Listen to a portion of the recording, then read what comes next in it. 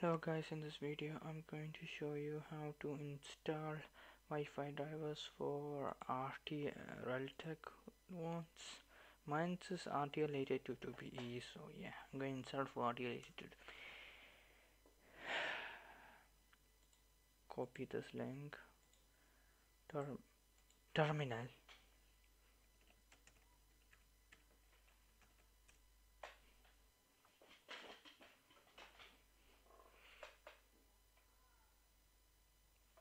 Download it already. You have to make sure you have installed linux headers okay? So you really wanted program. Installing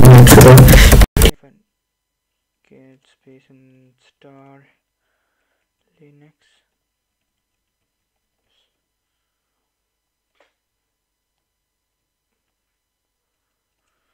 And mine's already installed as you can see it just this why I had this error with discord. Okay just just, just leave it guys.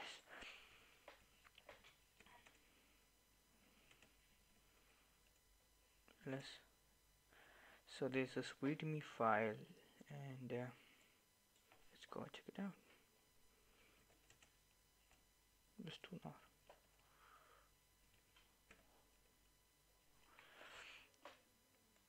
so readme file open up please.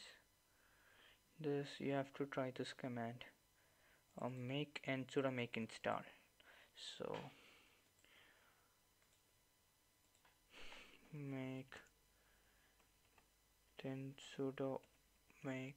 I cancelled it because I already installed it. Then yeah. Then you can try this uh, this command. So just copy it and paste this and type RTL8822BE if it comes like this without any error it means you have successfully installed it. And after installing it give it a restart or type sudo network manage network hyphen